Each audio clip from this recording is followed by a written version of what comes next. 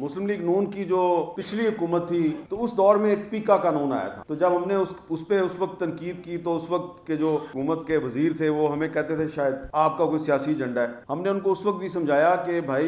आप ज़रा try to understand ये कानून जो है ये आज आप दूसरों के खिलाफ बना रहे हैं कल को ये आपके खिलाफ इस्तेमाल होगा और फिर वही हुआ जब तहरीक इंसाफ की हुकूमत आई तो वही जो पीका एक्ट है वो मुस्लिम लीग नून और बाकी जो अपोजिशन की जमातें उनके खिलाफ इस्तेमाल हुआ